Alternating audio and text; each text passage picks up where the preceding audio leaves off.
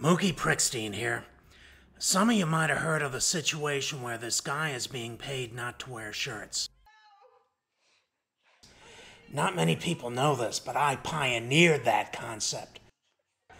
Look at the deals I already got in place. The first one was when I snuck the car out.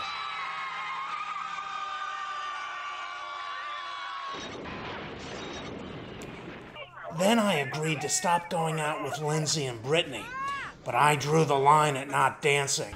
I'm a kitty cat, ain't I?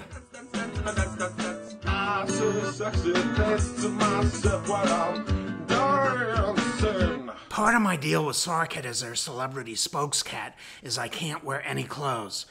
They worried about old modeling shots turning up?